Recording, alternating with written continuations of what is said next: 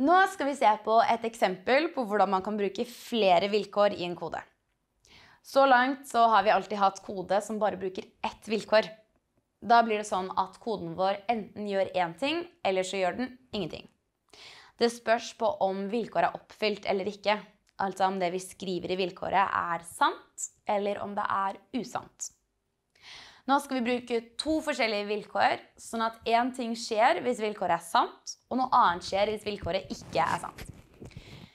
Vi har lyst til å skrive kode som gjør at vi kan styre tigeren frem eller tilbake med tekst. Så la oss starte med startsignalet. Så får vi tigeren til å spørre om vi skal gå frem eller tilbake. For å gjøre det bruker vi spør-blokken. Nå legger vi til to hvis-blokker. I den ene vil vi si hva som skjer hvis vi skriver frem, og i den andre hva som skjer hvis vi skriver tilbake. Vi bruker denne blokken for å sjekke om vi skrev frem, og bruker det som det første vilkåret. Så gjør vi det samme for å sjekke om vi skrev tilbake. Da blir det det andre vilkåret.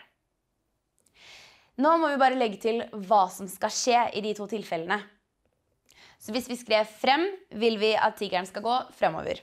Så vi bruker en bevegelsesblokk. Husk at det er dette som skal skje hvis vi skriver 'frem', så vi må passe på at vi legger den i den første hvis-blokken, og ikke den andre. Hvis vi skrev 'tilbake', så vil vi at tigeren skal gå bakover.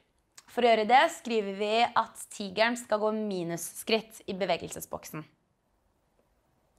La oss sjekke om koden vår fungerer. Jeg trykker på flagget, og så svarer jeg 'frem'. Og der gikk tigeren litt frem.